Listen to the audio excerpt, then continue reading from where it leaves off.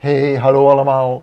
We zitten nog steeds in een zeer wisselvallige periode. En de reden, ja, daar hoeven we niet ver naartoe te zoeken. Opeenvolgende lage drukgebieden die vanaf de Atlantische Oceaan over ons heen denderen en telkens met storingen en buienlijnen zorgen voor veel wisselvalligheid in ons weerbeeld. Dat is vandaag niet anders. De voorbije nacht is er een warmtefront doorheen onze regio getrokken. Vanochtend volgt dan een koufront en ook daar zitten weer perioden met regen en of buien bij. Vanochtend blijft het dus zwaar bewolkt tot betrokken met perioden van neerslag. Dat kan soms intense regen zijn. Op andere momenten is het dan weer wat droger. Maar de trend is wel dat het droger wordt in de loop van de dag. Vanmiddag gaan dan de droge perioden geleidelijk aan overheersen. Met het doortrekken van dat front komt ook weer een windveld mee.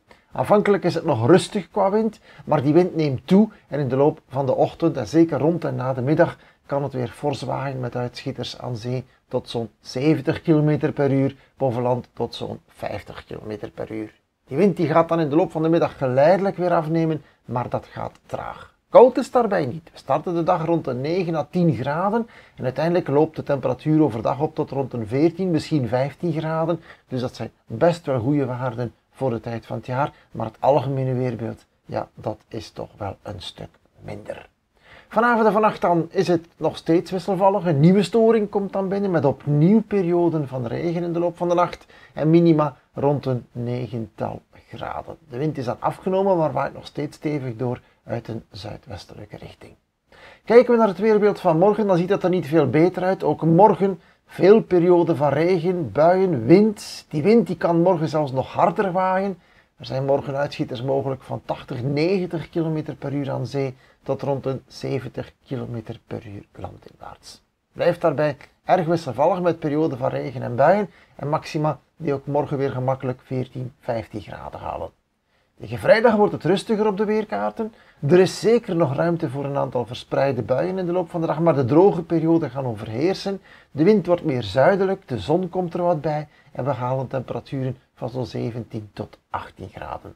Dat is opmaat naar een mooier, warmere zaterdag met uh, redelijk wat zon, al zal die ook niet uitbundig schijnen, want er is zaterdag toch nog veel bewolking in de vorm van hoge en middelhoge wolken, waar de zon toch wel wat last van heeft. Maar er wordt warme lucht aangevoerd met maxima tussen 21 en 23 graden.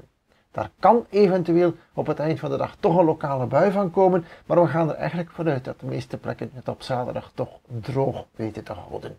Zondag, dan is er opnieuw een storing die doortrekt met wat regen, vooral in de ochtend. Daarna is dat weer droog en halen we zo'n 17, 18 graden. En dat zou ook het weerbeeld zijn voor begin volgende week.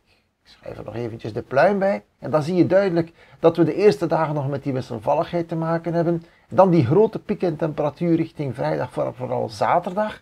En dan nadien zit er toch wat beterschap in. Je ziet duidelijk dat die onderste grafiek na het weekend opdroogt.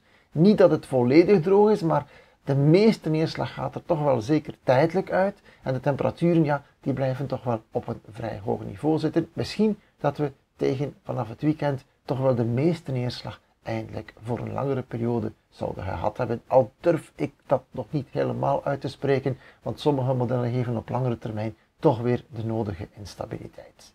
In alle geval, we zijn vertrokken voor een warme vrijdag en zaterdag. Vooral zaterdag wordt een dag om toch wel naar uit te kijken qua temperaturen. Maar voorlopig eerst nog een paar erg wisselvallige dagen. Zo, alvast bedankt voor het kijken. Graag tot morgen. Dag.